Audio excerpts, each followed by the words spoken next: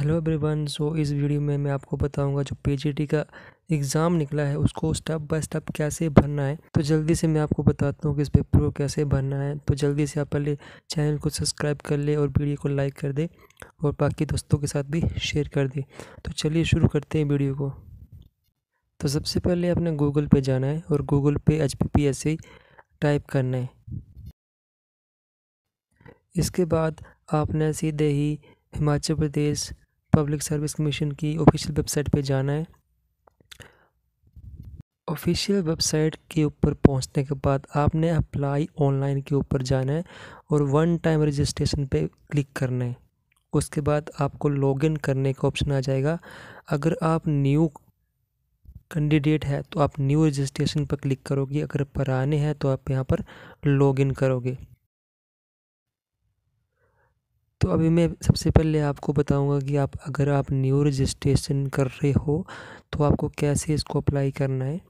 तो उसके लिए सबसे पहले आपको क्या करना होगा न्यू रजिस्ट्रेशन के ऊपर क्लिक करना होगा, और इसके बाद एक नया पेज खुल के आएगा, जिसमें आपको अपनी यहाँ पर पूरी डिटेल भरनी होगी, जिसमें सबसे पहले आपको यहाँ पर ईमेल इंटर करनी होगी, उसके बाद आपको मोबाइल नंबर डालना होगा उसके बाद एक सिक्योरिटी क्वेश्चन आएगा, उसको लिखना होगा और अपने मन से कोई आंसर लिखना होगा जो आपको याद रहेगा।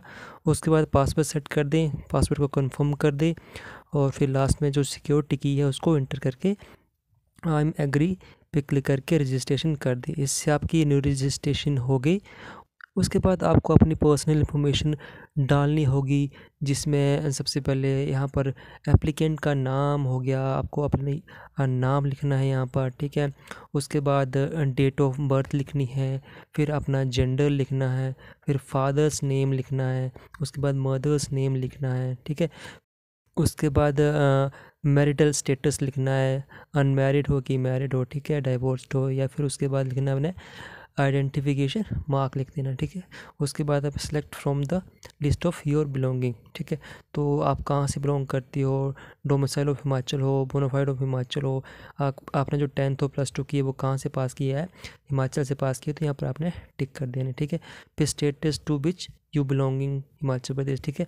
फिर अगर आपकी कोई कैटेगरी है, वो इंटर कर देनी है, सब कैटेगरी है, वो इंटर कर देनी है, उसके बाद अपनी नेशनैलिटी लिख देनी है ठीक है, किस रिलीजन से आप बिलोंग करते हो, क्या आप किसी माइनॉरिटी से बिलोंग करते हो? फिर उसके बाद नेक्स्ट आ जाएगा एम्प्लॉयमेंट ऑफ़िस में आपका रजिस्ट्रेशन है या नहीं?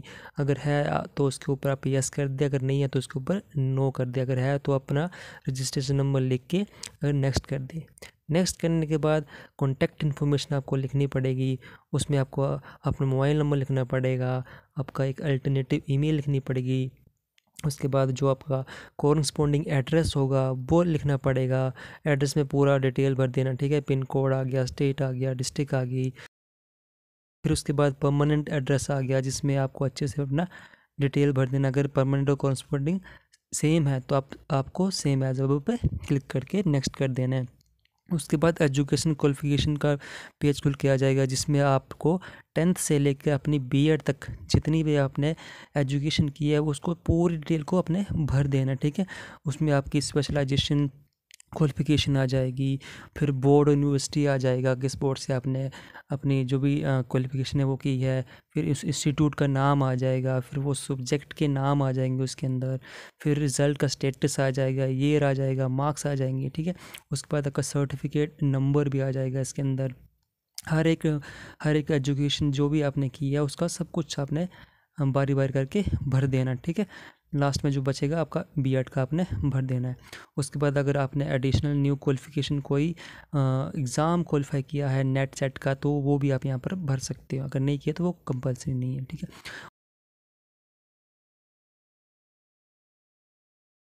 उसके बाद आपको यहाँ पर फ़ोटो अपना अपलोड करना होगा।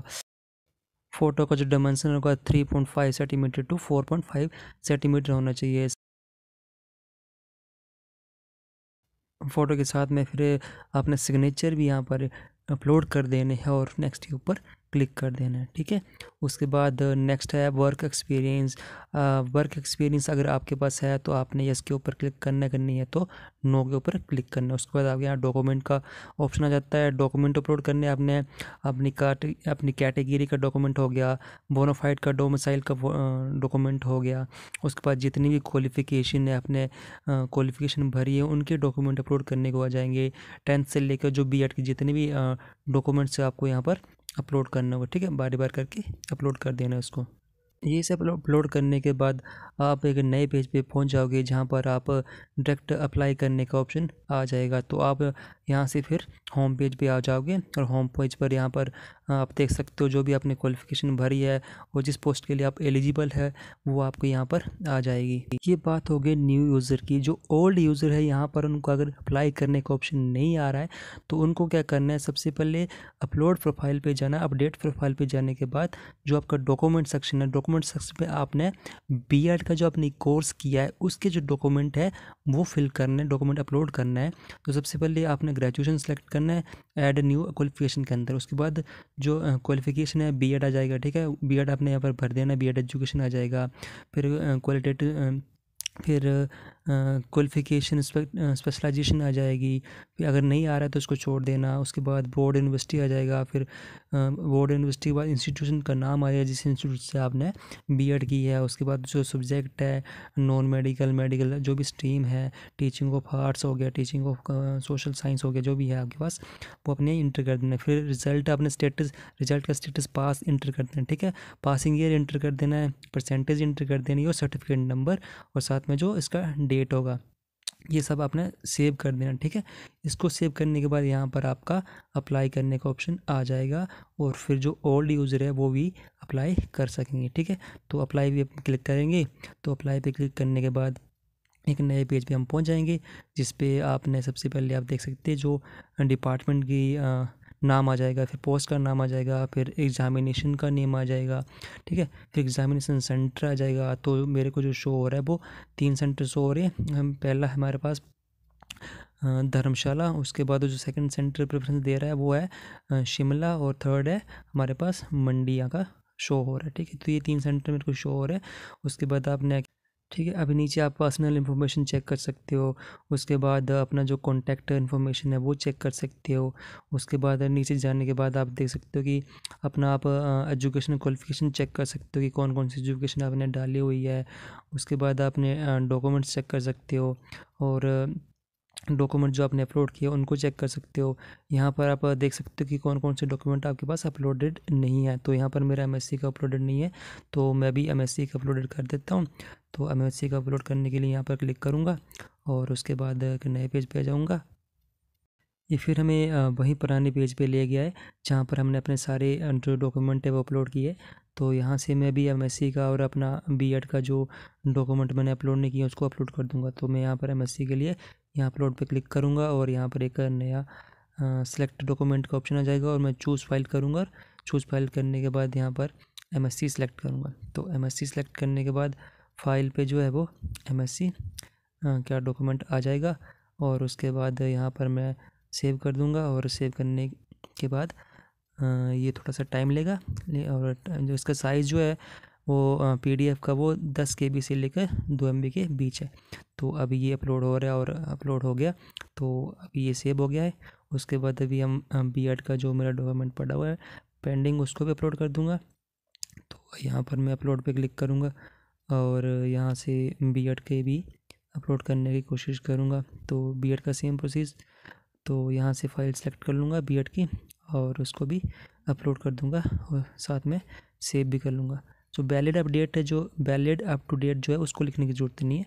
तो चलिए बी का भी अपलोड हो गया।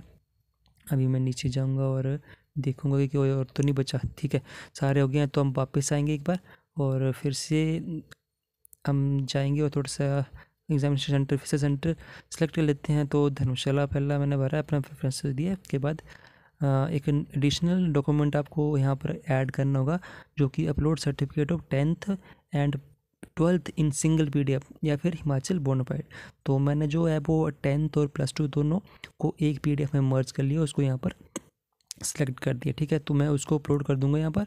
तो अभी यहाँ पर अपलोड कर दिया और थोड़ा सा ये टाइम लेगा। उसके बाद एम हेयर पे क्लिक करूँगा और उसके बाद एक थोड़ा सा टाइम लेगा, उसके बाद एक नया पेज खुल जाएगा जिस पे आप देख सकते हो जो प्रीव्यू डॉक्यूमेंट्स है। तो इसमें जितने भी आपने डॉक्यूमेंट्स अपने अपलोड किए हैं तो वो सारे आ जाएँगे और आपको आप इनको देख सकते हो। और देखने के बाद आप यहाँ नीचे क्लिक करोगे और उसके बाद क्लिक करने के बाद प्रोसेस टू नेक्स्ट कर दोगे। जैसे प्रोसेस टू नेक्स्ट कर दोगे तो सबमिट एप्लीकेशन का ऑप्शन आ जाएगा, उसके ऊपर क्लिक करोगे उसके ऊपर क्लिक करने के बाद आर यू श्योर के ऊपर आपने क्लिक कर देना और यस कर देना है।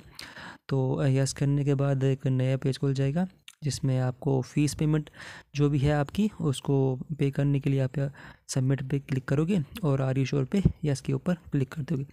जैसे यस के ऊपर क्लिक करोगे, एक नया पेज खुल जाएगा, जो हिमाचल का जो हिम, कोश है, वहाँ पहुँच जाओगे और यहाँ पर आप ई बैंकिंग सेलेक्ट करके जो बैंक है, जिस भी बैंक से और यू से या किसी भी तरीके से आप पेमेंट करना चाहते हो उसको सेलेक्ट करके यहाँ पर इंटर कर दोगे और ये कैप्चा इंटर कर दोगे। तो आ, मैंने यू पी सेलेक्ट किया जिसमें हम क्यूआर और यूपीआई भी कर सकते हो। तो अभी हमने ये कैप्चा फिल किया और आ, मेक पेमेंट के ऊपर क्लिक कर देंगे ठीक है? जैसे मेक पेमेंट के ऊपर क्लिक करोगे आर यू श्योर का ऑप्शन आ जाएगा और एक नया पेज खोल के आ जाएगा।